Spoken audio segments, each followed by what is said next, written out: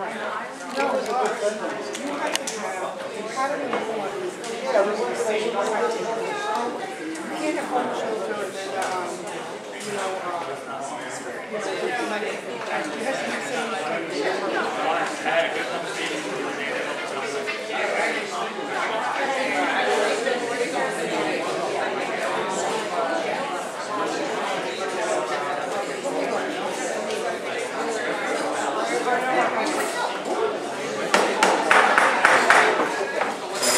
Good evening, ladies and gentlemen. Rise for the pledge of allegiance.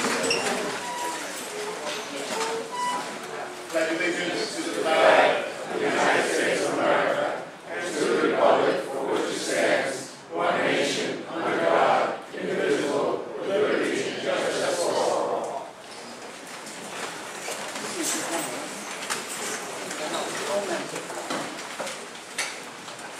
Uh, Good evening, everyone. Uh, This is the Bronx Community Board Number 10 meeting for June 15, 2017. And we will begin with uh, public participation session. Um, The first speaker that I have is Josephine Cristonomo, Cristomo, uh, the engagement specialist of the Thrive New York City program.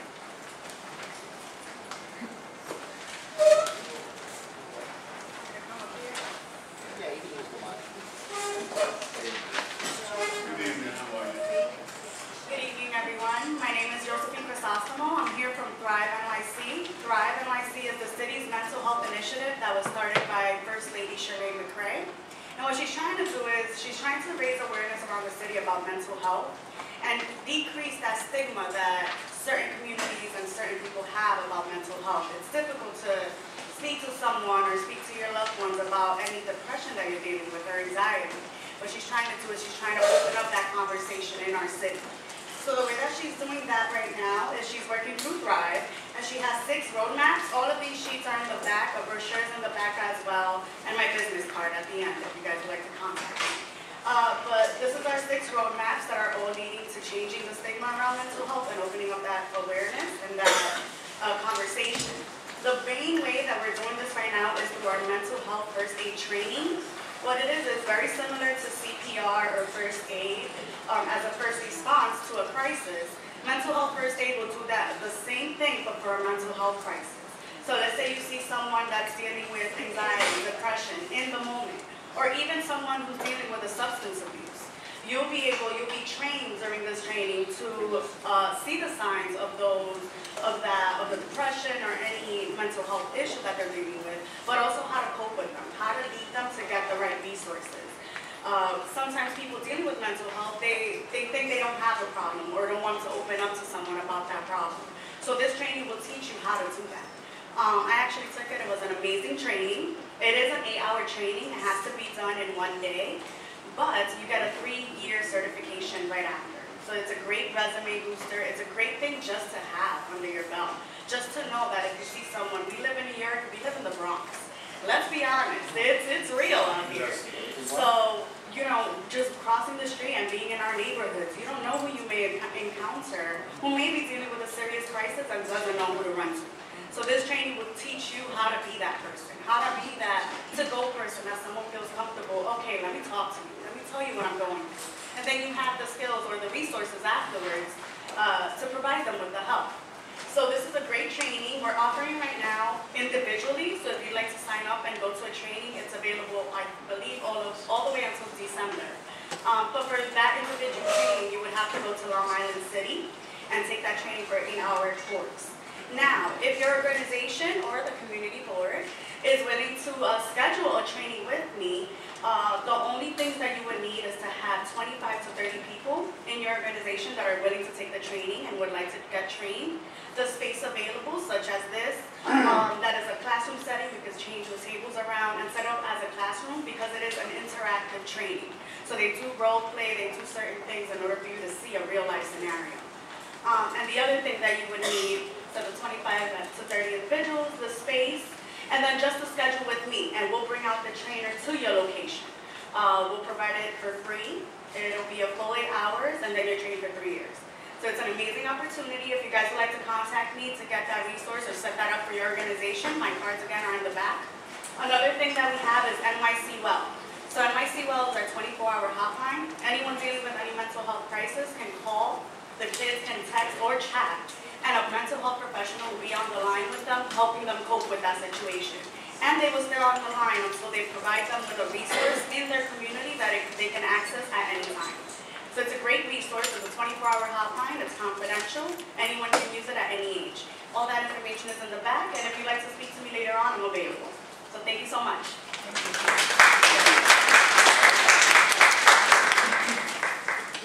Uh, next speaker, Egidio Sementilli.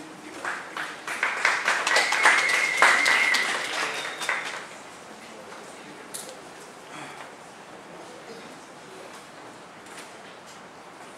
evening. My name is Sementilli, Gidio Sementilli. I have some good news. I declared my candidacy for city council. Thank you so much. Democratic primary, by the way. And uh, I want to speak about the election, how important the election is tonight. And this is more for the members here, because I've been here three times a month, every month, for years, and we've come to a point, a fork in the road here. All the issues that I've been complaining for years has been with problems with the leadership of this board. The leadership of this board has been the problem.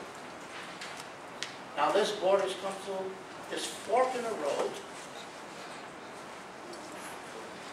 And we all have to make, not I, I'm not a member, the members here have to vote your conscience. How many meetings, how many discussions, how many debates, how many yelling, screaming? I'm not yelling tonight. I'm calm.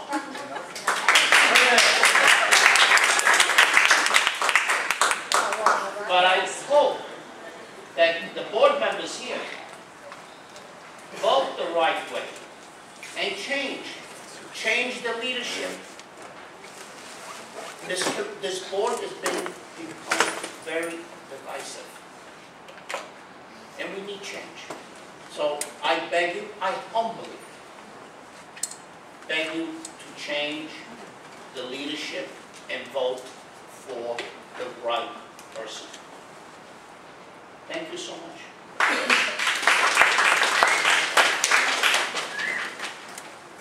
Next speaker is Joe Bellini.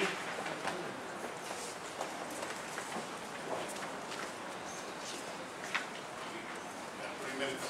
Good evening. I understand that one of the many traffic goals in the very fu- future is to put more cars on the Pelham Parkway via the Bassett Avenue extension. That may be good for the Morris Park area, but what about the Pelham Bay area? This traffic pattern will result in an increase of traffic volume going through Pelham Bay with most vehicles disobeying traffic signs and using St. Paul Avenue in an effort to avoid the congestion at the station. After numerous DOT traffic studies costing thousands of hundreds of dollars, promises, broken promises from many politicians and the community board over the past 10 years to address these problems, nothing really, nothing has been done or even tried to preserve the small amount of the remaining residential character of Pelham Bay. As a matter of fact, more inaction on the part of our elected and selected representatives has seen the turn a blind eye and let our neighborhood be assaulted and destroyed. The late Joe Lotto and a few others actually took the time and walked the streets around Pelham Bay Station a few years ago. They witnessed for themselves the unbelievable volume of computer traffic and trucks speeding through our residential neighborhood, especially during the evening commute. Things have gotten worse, much worse. Whatever happened to Joe's plan? Wasn't it approved by CB 10? Our Pelham Bay neighborhood is being choked with vehicle traffic, air pollution, litter noise, lack of street parking, and the neglect of the governing bodies that are supposed to serve and protect the residents of Pelham Bay. In addition to, and with the same enthusiasm that they serve the residents of Morris Park, the Hutch Breakfast Center, Co-op City, etc. In addition, to an unreasonable volume of traffic, we still have unchecked squatters on St. Paul Avenue that monopolize the on-street parking with many cars permanently parked on the street. The HIV facility at the Pelham Grand, that according to their own website, is now a short-term homeless shelter. Despite all lies to the contrary, crushes the morale of the residents, decreases property values, and to add insult to injury, so they even try to maintain the appearance of their leased property. Traffic condition at Bay Station continues unchecked with no traffic or parking enforcement and no improvements implemented. Speeding and the incidence of vehicle and pedestrian accidents continue to increase. Try crossing the residential streets near the station during rush hours. You better have plenty of time and even more patience. What about Pelham Bay? 30 seconds. Thank you. Thank you.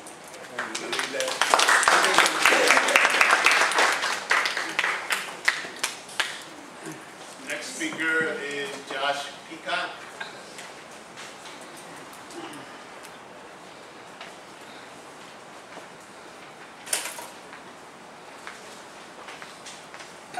Good evening, everyone. I'll make this short and sweet. Uh, My name is Josh Peacock. I'm from the Mayor's Center for Faith and Community Partnership. We're a new office that just started up. Uh, Simply put, we're here to pretty much go out to houses of worship and community organizations to explain certain initiatives that the city has, as well as uh, pretty much explain some of the ways that, say, get a nonprofit, apply for grants, and others, and other initiatives that the city is carrying out. So I just wanted to introduce myself, because you'll probably be seeing me around a lot, and uh, have a good night. Josh? You guys, you guys have involvement in community schools? Not right now. Okay, thank you. Uh, The next speaker is Lucia Giraldi.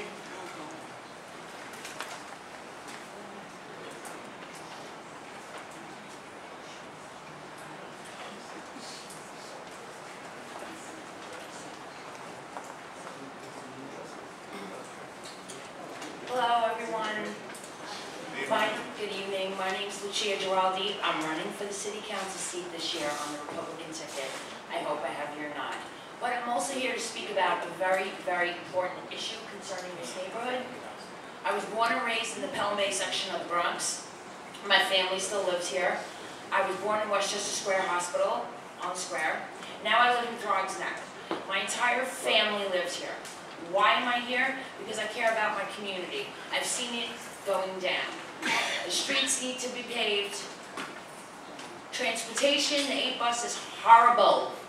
Horrible. One passes, we wait a half an hour. And I know because I go into the city a lot with my son. Transportation has to be changed for this community. We pay a lot in taxes. And I know this because my grandparents have been here since the 50s. My aunt used to work in this establishment. Why choose me? Because I was born and raised here, and I know what this community. So as a woman, as a Republican, after helping six people get into office, three Democrats, three Republicans, I am fair to both. I believe that I should be the one chosen. I was Mike Bloomberg's team leader, three boroughs, four offices. Highest numbers girl. And at this standpoint, I believe I have what it takes. I have a master's degree and a minor in business. Make me your leader. this isn't the place for this. Okay. Okay, so I think I have to ask you to step away from the mic now. The issue is the, is the Let's transportation. let you get somewhere else. Thank you. Thank you. Okay, uh, next speaker is Nobella Thomas.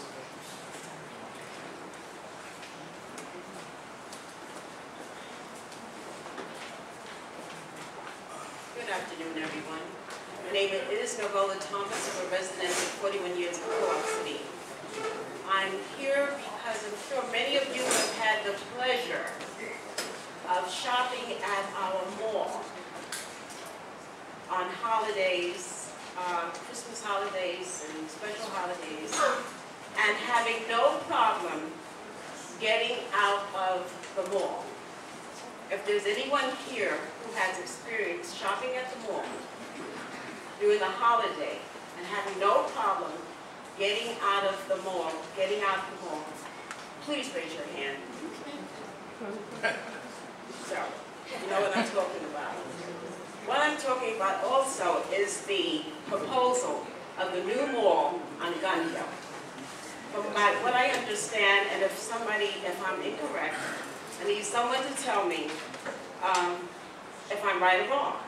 Community 12 board voted for it, and community board 10 did not. But it appears that it's still um, a possibility.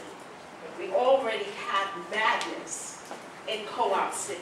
Traffic on holiday is just unbelievable, or any day on the weekend is crazy. So what I'd like to know, if anything, what can community board do to stop this from happening? What do we need another mall for when we have one right across the street? So it just really doesn't make sense at all. So if there's anyone here who can give me a sensible answer, please do us all a favor and share.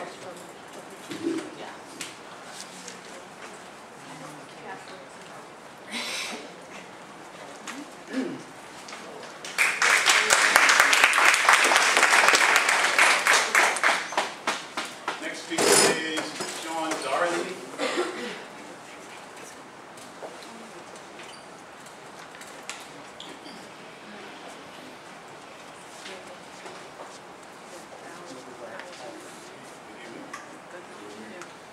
Good evening, everyone. As a veteran, I greatly respect this process, and I deeply appreciate the opportunity to stand here this evening, so thank you very much. Thank you. Uh, My name is Sean Doherty. I am a surviving victim of child sex abuse when I was 10 years old by a priest in western Pennsylvania. I live here in New York now, and I wanted everybody in this community to be aware of the New York Diocese Reconciliation Program offered by Cardinal Dolan. He has just extended this through November. I think this is a very important program to register for. Registering does not mean accepting. Registering is going in, being counted, being part of an option and opening your options to you. I'm working with a group called Lawyers Helping Children of Sex Abuse, and I encourage everybody in the community to talk about this. I have written letters to every church in the diocese trying to encourage this. Um, And I would encourage you, if you know anybody in the community, to uh, look at a website called childsexabuse.org. Start there, it's full of uh, wonderful information. Uh, And again, thank you so much for your time this evening.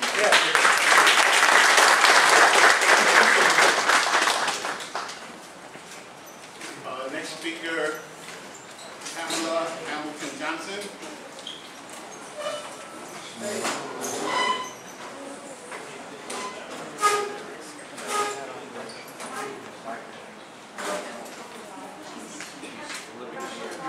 Excuse me? Can we give Julian a round of applause for coming down?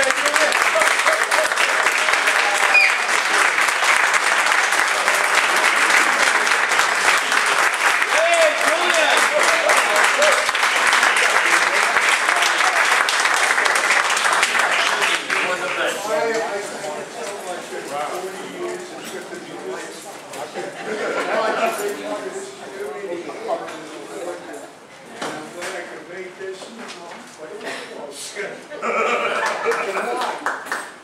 Ninety percent blockage in all four arteries. Thank you for They being were totally calcified, they couldn't get it out any other way, they had to open the heart up, take it out. That's it. Anyway, I thank you so much for the ovation. Uh, the next forty years, I expect to be here.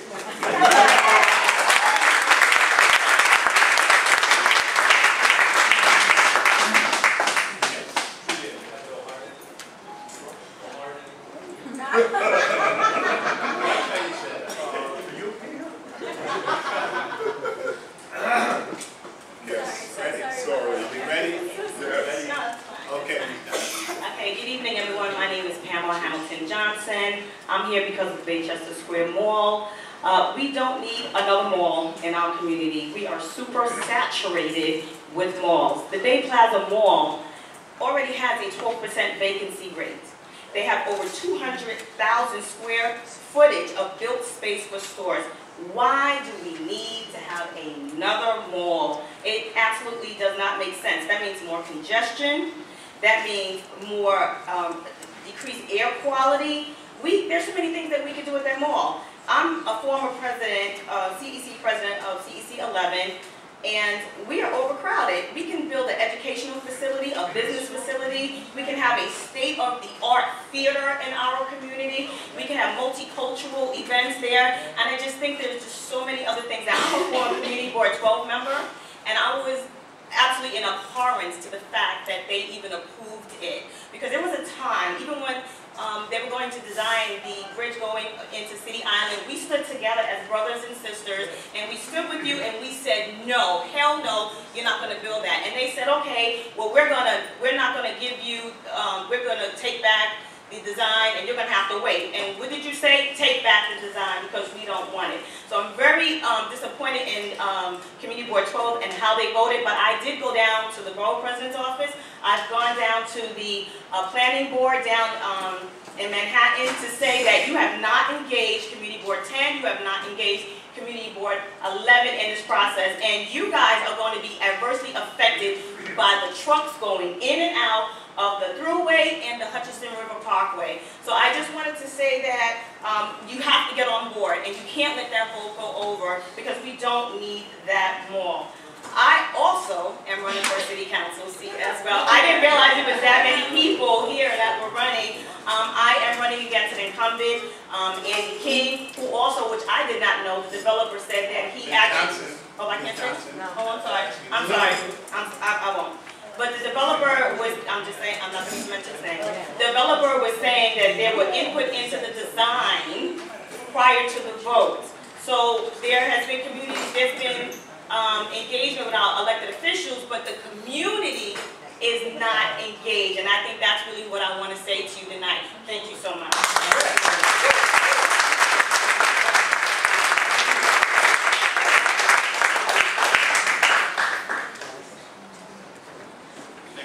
Next speaker is Natasha Joy.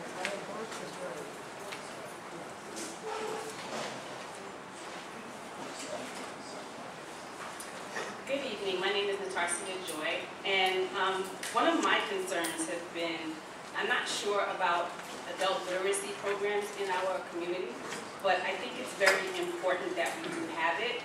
Um, I want to know, do we have any programs, and if so, how is that publicized? How is the community made aware about adult literacy?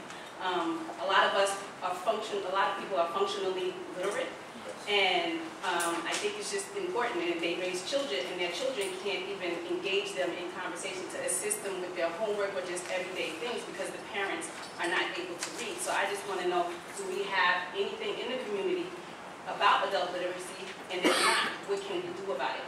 You know, if we're talking about Gun Hill Road and putting up a new mall, can we make a facility where it's a after-school program or some type of program or uh, of a space where people can actually go and the parents can get adult literacy while the children do their homework and there's learning all around. The Bronx is just like the forgotten borough, and I think it's important that we start elevating it. So that's pretty much all that I wanted to say. Thank you.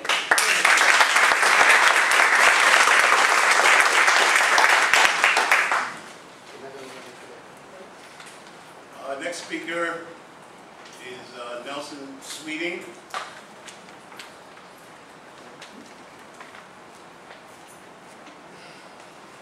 Good evening. My name is Nelson Sweeting, and I don't often come to this meeting, but I wanted to say that I concur with Mr. Seminelli, Ms. Johnson, and Novelli. We do need new leadership on this board. I'm representing Co-op City, Section 5. We have a lot of issues in Section 5 that needs to be dealt with, and I'm hoping that the board would look into this matter. I'm not going to be long, so thank you. That's what I have to say.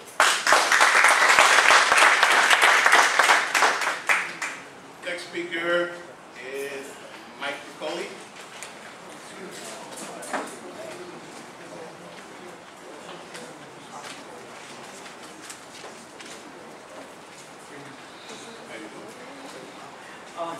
well, I came here for two, uh, two reasons. Uh, But first, I want to say, um, when I was on the board, even though I disagree with a lot of people here, I always respected them, and I don't think you could find a better uh, bunch of people, no matter what their um, makeup is and what they believe in.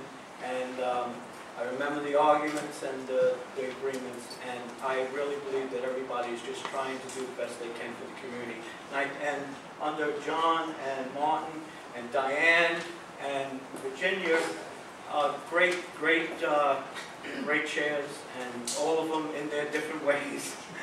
Um, That's all I want to say about that. Okay, I just, I just came from a committee.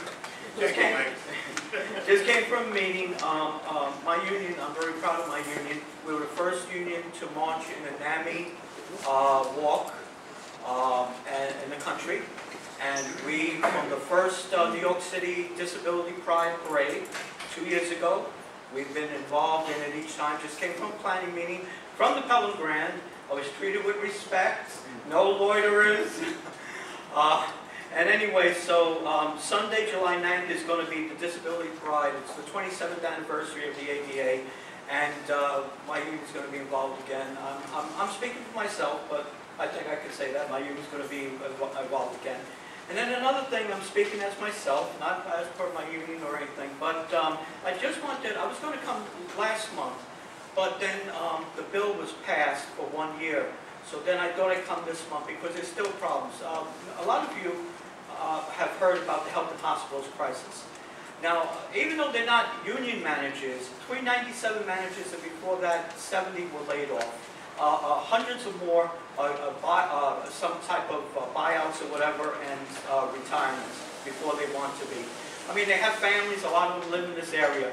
Th- th- This is not the end. Um, could be massive, thousands of layoffs in health and hospitals. And one of the reasons for that is, even though, uh, the Affordable Care Act did a lot of things. One of the things it did, it left a lot of hospitals, private hospitals off the hook, and where they didn't have to maintain services, they didn't have to treat people, all of them, depending on what type of hospital it is, uh, they did not have to treat the people uh, like they used to when they got federal money. Uh, Another thing is, because all the hospitals, private and city, uh, have empty beds, what they are going after, the private hospitals are going after beds. People on Medicaid to have beds. So what has happened is the Medicaid funding for the health and hospitals, even though they're maintaining them, especially the undocuments, the aliens and everything, what, what's happened is the, the, the the Medicaid funding is going away from them, even though they're providing most of the care, going to five other hospitals. One is Montefiore, one is Montefiore, and so forth. There's a bill that they did pass, um, safety net uh, hospital bill, Assembly 7763, S5661B is a new one. And I'm going to come in front of uh, Miss- uh, uh, Rosario. I sent Martin and Bishop Rosario the packet here. And um, I, I, I want to keep you guys informed because this community board, if anything, has a very good relationship with one of the most powerful people we have that represents our area, Senator Klein. And Senator Klein is going to be very uh, important in this area. Thank you. Thanks, everybody. Next speaker is John Serini.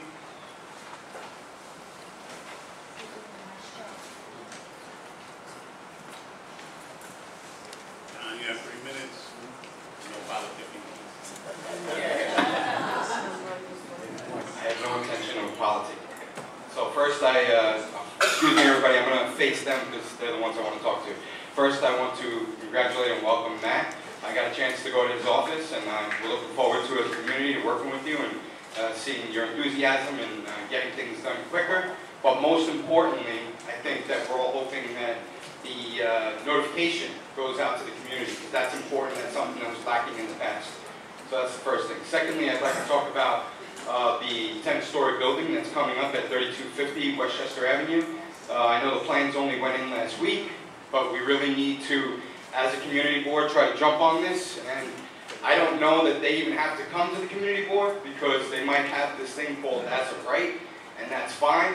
But I still think that the community board should put together some type of written letter in protest. This community does not want that building. We do not need that building. It's going to be an eyesore. We, we do not need two stories of commercial space and eight stories of medical space, so please, as a community board, get together, put something in writing, send it to DOB, and try to fight this. Because this community does not want that, it's gonna become an eyesore here. Secondly, I'd like to talk about the, uh, the Home for Developmental Disabilities. I missed a meeting you guys had the other day. And uh, I can tell you that um, I just think that, again, the community board, and Matt, I would, I would hope that uh, I could work with you on this. The community board should work together with people from the uh, Office for People with Developmental Disabilities and try to find out for us as homeowners and residents as to the six residents that are living in these homes, what are their disabilities, do they have anger issues, do they have violence, violence tendencies, because we all have children that live here. I have a 15-year-old daughter. I don't want to worry about her going out and having a problem with one of the residents who has 18 employees to watch them 24-7 with no curfew. So I think, again, we need to have the community board step in and get actively involved before it happens. That's all I have to say. Thank you. John, what you're asking is illegal. The HIPAA law, but we can't. I understand, I understand. But we can't ask those questions, and they won't give us those answers. Well, then we need, we need more time. You gotta request more than 40 days to fight it, because sometimes, like, you guys are going on break now. And what's gonna happen with this 10-story building, we have 45 days to fight it after it's approved, but we're gonna be on break until the end of September. So how do we fight it? Anytime the chairperson wants, he can call a special meeting. Okay, well then, let's work on calling a special meeting sometime in, uh, in August, because we need to fight it.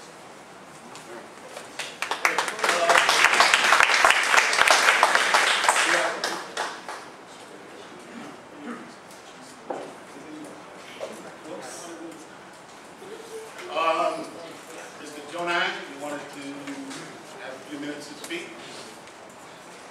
No politicking. You get three minutes like everybody. Martin, what, public speaking is over? Not yet. Oh.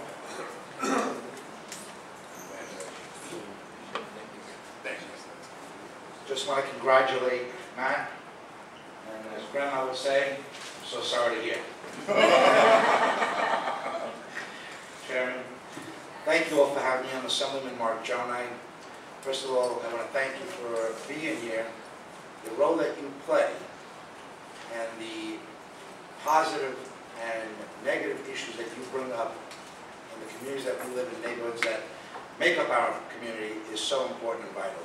I want to thank the board for their service because it's certainly a thankless job and you earn every penny. This is a brief introduction for me.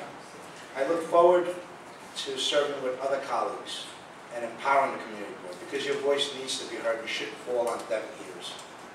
And what's important to you should be important to all of the elected officials. I understand tonight's an election night. I wish all of the candidates a lot of luck. Forward to working with this community board moving forward. During the summer, I wish you all a very peaceful and safe summer, and I'll be available in the Assemblyman. I currently represent Morris Park, Pelham Parkway, Allerton, and Marshall Parkway, but you're going to see me a lot more in this area. Gentlemen brought up the health and hospitals issues, serious concern. Our safety nets are not as reliable as we want them to be. These are the most uncertain times in history, at least in my lifetime. And it's very difficult to prepare for the unknown. But in the Assembly, we're doing our part. We have a great colleague there, uh, Michael Benedetto, and Senator Jeff Klein, that are making sure that the needs of this community are being addressed and met. In addition, I just want you to know that those flags that you see on East Tremont, I was happy to do that with the blessing of the community board and a new chair, uh, and district manager hopefully, will allow to keep those flags up till July 5th. We're hoping that those flags will remain up through the Day of Independence, and then come Veterans Day, we put it back up again. I was happy to be a part of that. There is nothing that says more American than our flag, it stands for democracy and pride, and I truly believe that we should thank not only our veterans, but the families of those veterans, because they serve day in and day out with them. So God bless you, have a wonderful summer and a peaceful summer.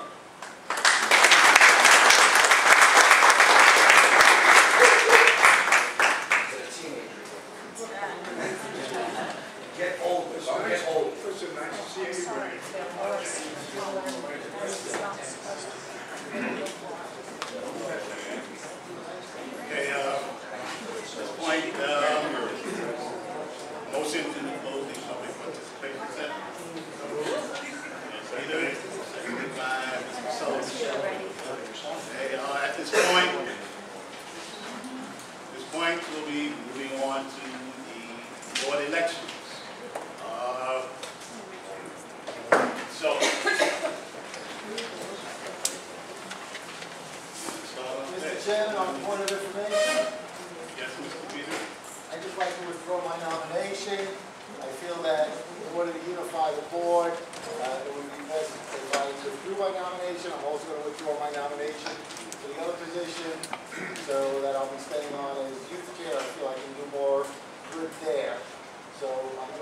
nomination, any of those who are going to vote for me, I encourage you to vote for Pete Sullivan. Thank you. With that, as Chair of the Nominations and Elections Committee, uh, our election of officers for the Executive Board and Community Board 10 will commence. The remaining nominees for chairman are Martin Prince and Peter Sullivan. We shall conduct a roll call vote for chair, first vice chair, second vice chair. We shall conduct a voice vote for secretary with one candidate unopposed. Uh, Peter, you'll do the roll call for the chair. Okay, I'm going to call it now for Is, uh, the trending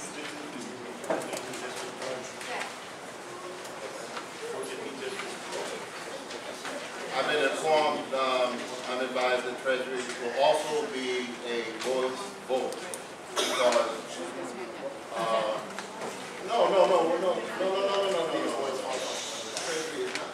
Yes, this is just Marjorie now. He withdrew for. Oh, for both spots? Yes. Oh. She's right now opposed. Sorry, you didn't understand that.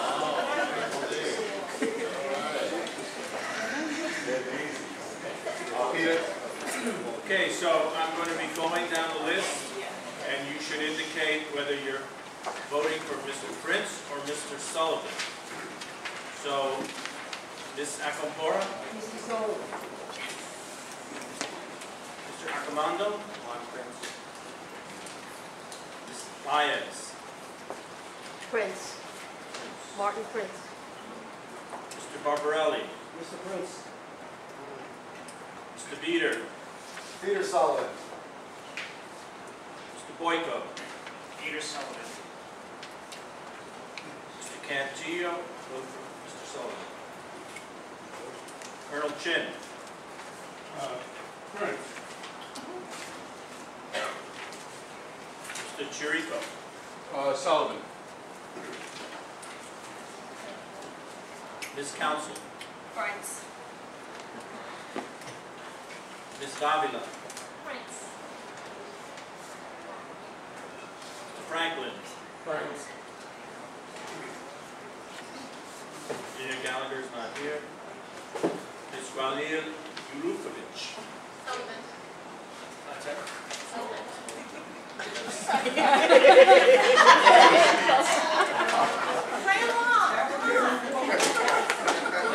Hunt? Ms. Johnson? Johnson?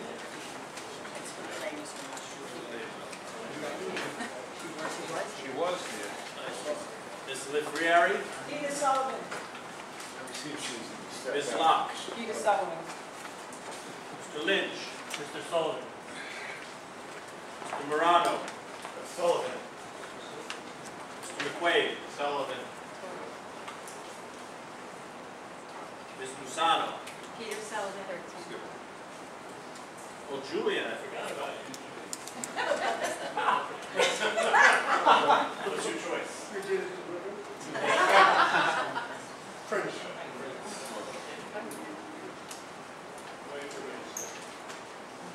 Mr. Quinawu? Joe Anu, I don't believe is present. Not here. Mr. Papadat? Is he here? Christos? Not here. Just call it your. Ms. Johnson? Yes. Your vote? Chairperson. Prince or Sullivan? For chairperson. Chairperson. Your voice for chairperson. Peter Sullivan or Martin? Peter Sullivan or Martin? Correct. Yes. Um, Peter Sullivan. Christoph is not here. Mr. Dr. Ponder? Sullivan. Mr. Popovic? Sullivan. Mr. Prince? Prince.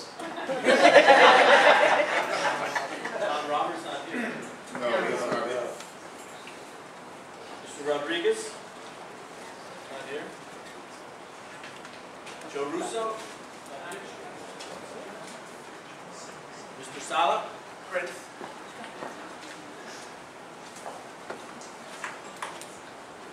Tony Salamini, he's not here. Yes, he is. Yes. I know, I was at a like, school board meeting, I get confused. Uh, Peter Sullivan. Mr. Sawyer? Prince. Ms. Samaj Williams? Abstain. Mr. Sullivan? Sullivan. Ms. Velasquez?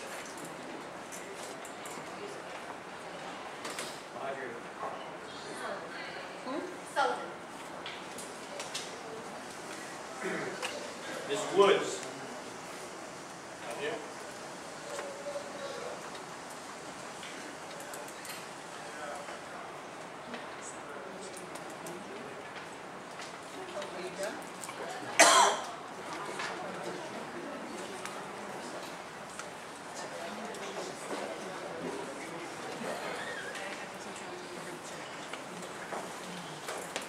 The vote is as follows. 19 votes for Mr. Sullivan, 11 votes for Mr. Prince.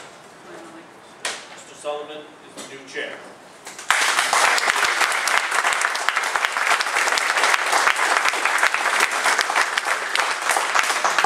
Did I throw my hat in for council?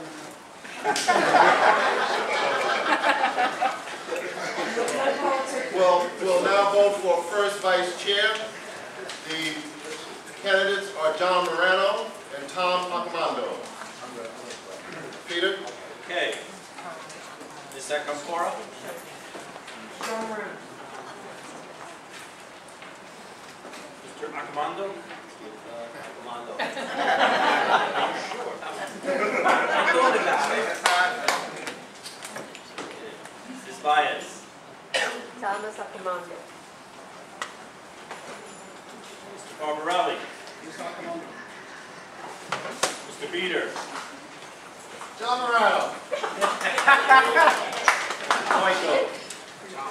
Yeah, I know, we gotta go. Cantillo, vote for John Morano. Colonel Chin?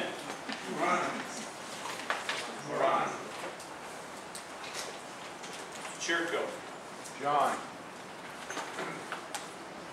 Ms. Council? Accomando. Ms.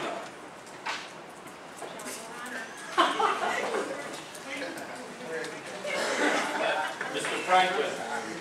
So hold up high.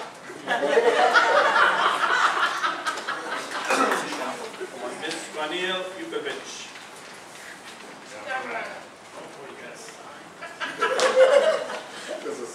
sorry. Ms. Hunt? Ms. Johnson? John Morano. Ms. Lettieri? John Morano. Ms. Locke? John Morano. Mr. Lynch? John Moran.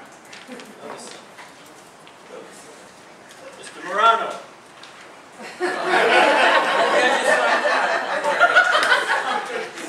You can't be silent on me. Gotta be quiet. I'm trying to hear this. Mr. McQuaid? John Morano. Mr. Mazursky, who's now here. That's uh, Tommy Accomando. Mr. Musano. John Morano. Christopher is not here. Stop. Mr. Pond, Dr. Ponder.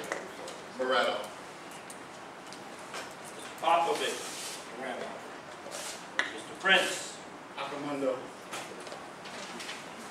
Mr. Sala. John Morano. Tony Saladino. John Morano. Stop, stop, stop. Mr. Sawyer. John Morano. Samaj Williams.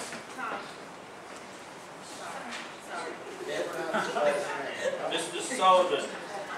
John Morano. Ms. Velasquez. Abstain. Ms. Woods is not here, right?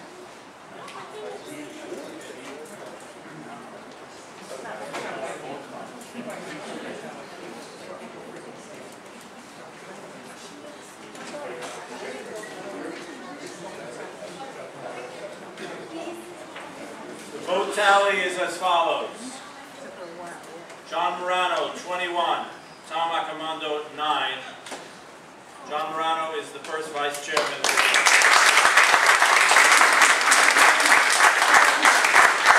We will now begin the vote for second vice chair, Elaine Guano Ilukowicz and Joe Boyko. Irene, I'm sorry, I'm sorry.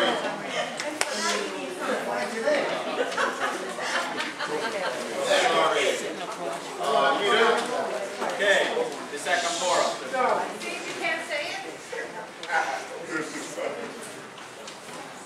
Mr. Commando. Go.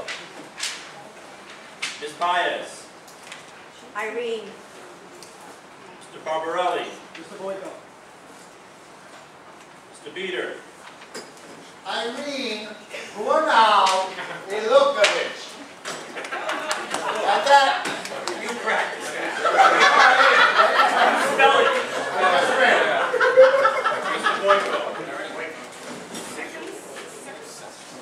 Cantillo is going for Irene. Colonel Chin. Boyko. Mr. Chirico. Irene. Ms. Council. Boyko. Ms. Davila. Mr. Franklin. Irene. Ms. Guayani. Ms. Hunt. Ms. Johnson. Joe. Mr. Livieri. Irene.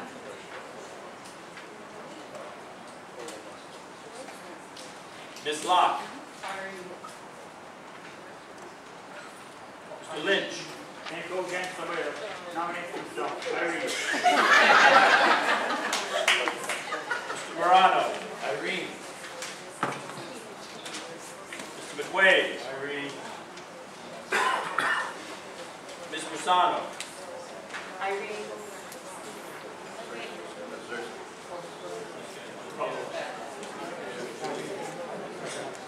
Julian. Dr. Ponder. Boyko. Mr. Popovich. Mr. Prince. Abstain. Mr. Roberts not here. Mr. Rodriguez. Mr. Rodriguez is here.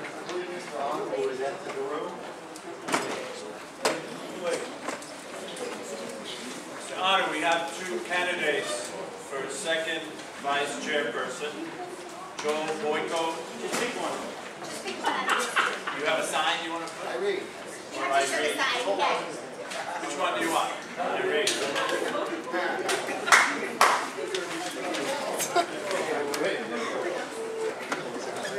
Second vice president. Joe Russo's not here. Uh, Mr. Sala? Irene. Tony Salim? I can't read it.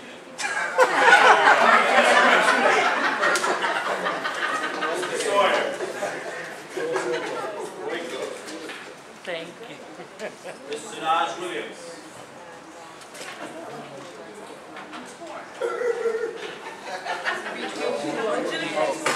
You, you've abstained all night.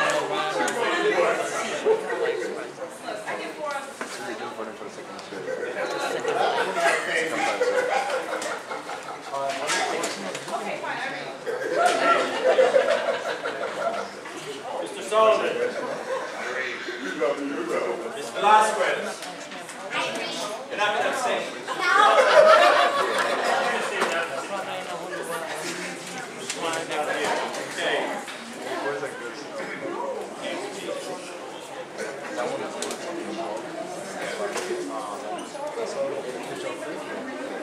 So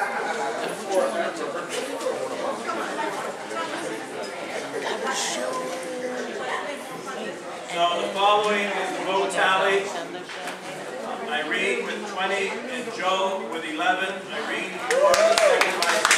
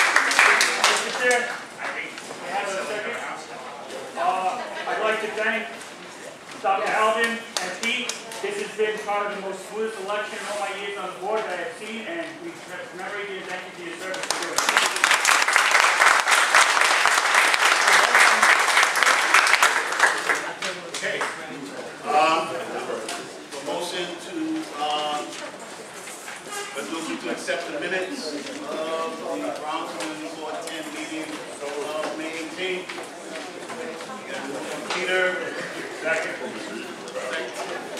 All in favor? Aye. Any opposed? Okay. Uh, at this point, we will have the borough president's report by Mr. Tom Kane.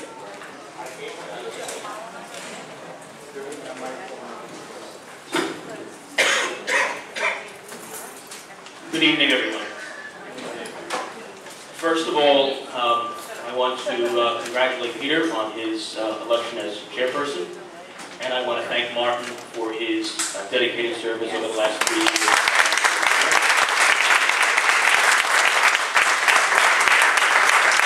In addition, uh, I want to formally uh, welcome Matt uh, to uh, the cadre of Bronx District Managers. He's already um, attended one of our borough cabinet meetings, uh, and we've been on the phone on a number of occasions over the last week just to uh, make sure everything runs smoothly. It is, okay, there's a black Honda FEY 4617, you're blocking someone? Black Honda FEY 4617. Okay. Um, and so, uh, I want to again just thank Matt for, uh, taking this responsibility on and to, to welcome him. I want to I want to also congratulate all of those board members who received their reappointment letters um, from the borough president. Uh, We thank you for your service. Uh, We hope the summer is uh, a quiet one for everybody, but as uh, was said earlier, there are a number of issues that won't wait until September and that you will have to work over the summer to, to address. I just have two quick items I do want to share with you from, uh, from our office. Uh, The first is that this past uh, Tuesday, or last week, excuse me, uh, the lieutenant governor, the borough president, and the mayor's office held a groundbreaking for York Studios, which is going to be a major uh, movie production company in the Soundview section of the Bronx. Um, It is a $100 million development, 350,000 square feet of studio space, backlot space, and it is a great development. It is a, uh, a good addition to the production company that is in Hunts Point, which is, uh, from Hunts Point, what is it, Nick? Silvercup, right, the Silvercup North, which is uh, operating right now. There are a number of shows that are being filmed here in the Bronx. And today, our building at 851 Grand Concourse is often used by production companies, the courtrooms, the exteriors, and they were there today filming. Um, Madam Secretary has been there, a number of the law and orders, and um, the Bronx has many locations that have experience, and I know the City Island folks are well aware of it, um, of how uh, movie production has grown in this borough. And then secondly, it's, while it's not an announcement directly from, from our office, we share with um, the mayor's office the new park that will be in Co-op City, uh, the waterfront park. I know that there was an announcement with the mayor and River Bay Corp and the board, and uh, it is something that I know the Co-op City folks have been looking for waterfront access uh, for a very long time, and uh, finally it will come to fruition, and all of you, uh, as the process moves forward, the Department of Parks will be coming to you, um, am I correct, to, uh, to talk about the proposed design, so it is something that is, um, was much needed, and we were happy that uh, we will be able to support it. Uh, In addition, there was the um, opening of Orchard Beach, where the mayor attended during Bronx, the week he was in the Bronx, where um, there was a commitment of the 40 to 50 million dollars that's needed for Orchard Beach. Um, Again, you will be an important part of that. Uh, You will review those plans for the re- renovation and rejuvenation of the uh, pavilion. They have um, some plans that I'm sure they'll be sharing with you over the next year or so, but it is something that is going to make a great difference to uh, the ambiance that is Orchard Beach. And uh, it's in it's in your district, and it is something that you will have a a good, a great say over as to how the project moves forward. Uh, With that, again, I wish you all a happy and safe summer, and I Fireworks? Mark. Fireworks are on June the 29th, uh, beginning at, well, program begins at 7, it opens at 6, the fireworks are at 9 uh, a.m., uh, p.m., excuse me. Thank you.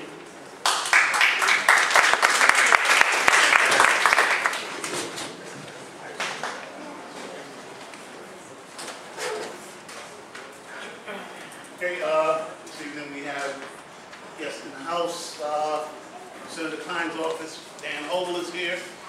Evening, Dan. Uh, as far the fireworks, you had all the details right, but I've got a stack of flyers in the back if you guys want it on paper. Call either of our offices and their wristbands, but if you can't make it to the barbecue, definitely come on anyway, because the music of the fireworks.